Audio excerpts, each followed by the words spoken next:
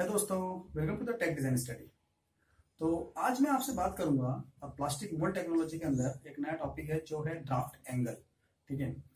तो basically draft angle क्या होता है? और ड्राफ्ट एंगल का यूज़ हम मोल्ड में या फिर मोल्ड की कोर और केविटी में हम क्यों करते हैं? तो आज उसके बारे में हम देखते हैं।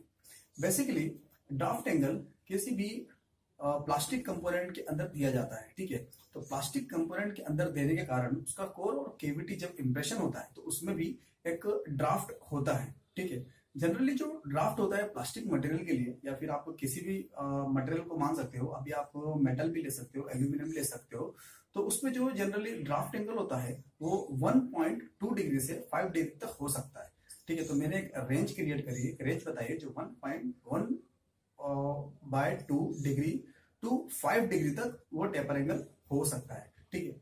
अब टेपर एंगल तो ड्राफ्ट एंगल जो होता है, वो मटेरियल के ऊपर डिपेंड करता है और उसके साथ कंपोनेंट की वॉल थिकनेस के ऊपर डिपेंड करता है और साथ ही साथ कौन सी मोल्डिंग प्रोसेस हम यूज़ कर रहे हैं तो उसके ऊपर भी ड्राफ्ट एंगल डिपेंड करेगा।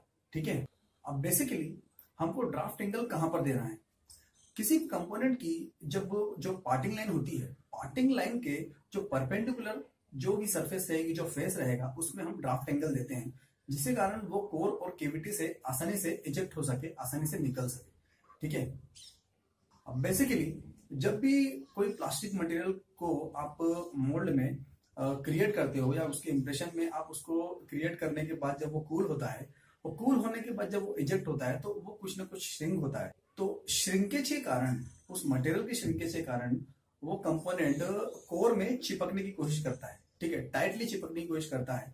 तो इस कारण से वो उसके अंदर फिक्स होने की कोशिश करता है और हम इसीलिए टेपर एंगल या फिर ड्राफ्ट एंगल को देते हैं ताकि वो उसमें आसानी से उससे निकल सके, ठीक है?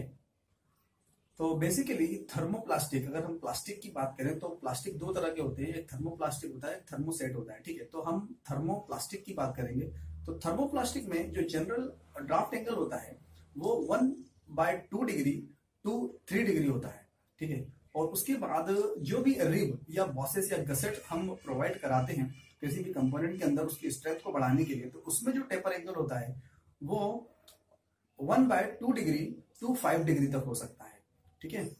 तो ड्राफ्ट एंगल या टेपर एंगल बेसिकली दो तरह के होते हैं, ठीक है?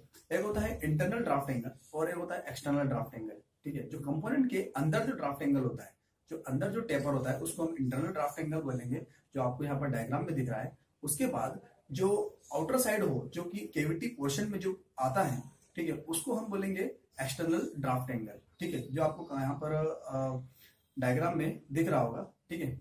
तो इस तरह से ड्राफ्ट एंगल बहुत इंपॉर्टेंट है किसी भी कंपोनेंट के डिज़ाइन के दौरान। आप अगर ड्राफ्ट एंगल नहीं देंगे तो वो कंपोनेंट किसी भी मोल्ड से आसानी से इजेक्ट नहीं हो सकता। ठीक है? तो ड्राफ्ट एंगल बहुत ही ज़रूरी है। तो ओके दोस्तों तो ये था ड्राफ्ट एंगल के बारे में मैंने आपको कुछ इन्फॉर्मेशन अगर आपको हमारे लेक्चर पसंद आते हैं, और अगर आप इसी तरह से इन्फॉर्मेशन कुछ चाहते हैं तो आप हमारे चैनल को सब्सक्राइब कर सकते हो, और नोटिफिकेशन के लिए बेल आइकन को प्रेस करो तो आपको जो भी मेरे लेटेस्ट वीडियो होंगे, उसके अपडेट आ जाएँगे, ठीक है? तो अगले लेक्चर में मिलते हैं, तब तक के लिए बाय